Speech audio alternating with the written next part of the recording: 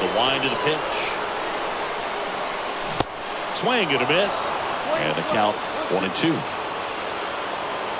Righty to the plate. Oh, now this one's high and deep. Way back there. On its way. Gone.